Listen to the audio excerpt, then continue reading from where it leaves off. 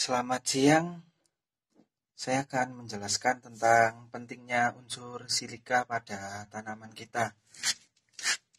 Pada kesempatan hari ini saya akan mengulas tentang produk dari Javamas yaitu silika exo dengan kandungan silika murni 35% bisa diserap dan bisa optimal melapisi jaringan tanaman.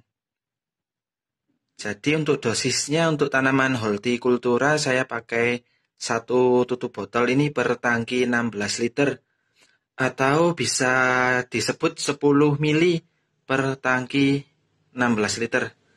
Sprayer elektrik maksud saya. Sprayer elektrik. Untuk jagung dan padi pakai dua tutup. Jadi efeknya itu membuat tanaman lebih kokoh, lebih tegak.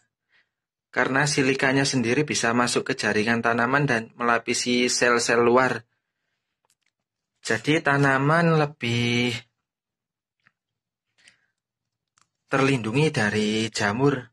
Jamur pun atau bercak-bercak daun pun akan sulit menempel pada sel daun karena sel daun terlapisi oleh silika ini. Bisa untuk tanaman jagung, tebu, cabai, tomat, melon, semangka, kubis, bunga kol, sayur-sayuran, bawang, kentang, bawang merah, bawang putih. Pengaplikasiannya sendiri bisa dicampur dengan insektisida atau fungisida, juga pupuk daun. Tapi untuk fungisida kelas mahal, saya lebih memilih untuk pengaplikasian pestisida yang mahal-mahal saya lebih suka menggunakan tunggal saja, misal seperti ini. Ini Dupont Zorvec Ensantia akan saya ulas pada video berikutnya. Jadi untuk pestisida yang mahal-mahal seperti ini saya lebih suka pengaplikasian tunggal.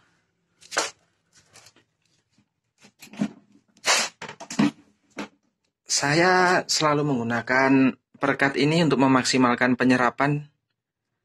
Untuk hortikultura sendiri saya pakai cuma 5 mili di musim hujan ini. Jika ada yang bingung takaran 5 mili itu pakai apa? Takaran 5 mili itu bisa pakai tutup botol aqua, tutup botol air mineral aqua. Satu tutup botol aqua itu 5 mili. Jadi silika exo ini bisa melindungi daun dari serangan kutu. Jadi mulut hama atau kutu-kutuan itu sendiri akan rusak.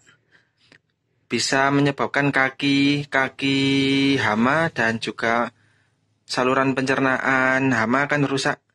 Karena silika sendiri ini efeknya diibaratkan manusia itu memakan pecahan beling atau pecahan kaca.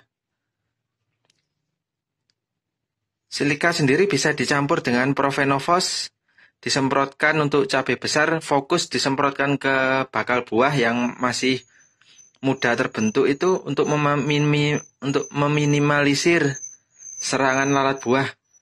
Jadi kaki lalat buah dan juga penusuk pada ekor lalat buah itu akan patah atau akan rusak saat mencoba menyerang daging buah cabai merah besar yang sudah terlapisi oleh silika.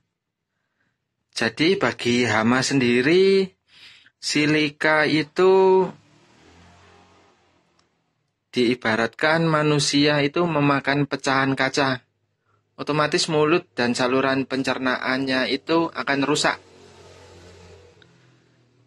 Juga sel-sel jamur seperti awar daun, busuk daun itu juga tidak mudah menempel pada daun kita. Jadi jika kita sering mengaplikasikan silika, tanaman kita akan lebih terlindungi.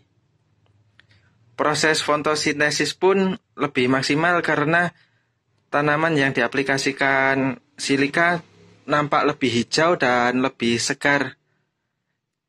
Jadi proses fotosintesis itu sendiri lebih optimal. Jadi tertarikkah kalian menggunakan silika? Bagus untuk tanaman kubis-kubisan dan sawi-sawian bisa dicampur dengan insektisida kelas metomil untuk perlindungan ekstra bisa dipakai ke cabai dan semua jenis tanaman. Untuk timun pun efeknya bagus untuk melon. Daun lebih segar, lebih hijau, lebih sehat. Cukup sekian yang dapat saya sampaikan. Terima kasih. Untuk kawan-kawan yang sudah subscriber, saya sampaikan terima kasih yang sebesar-besarnya.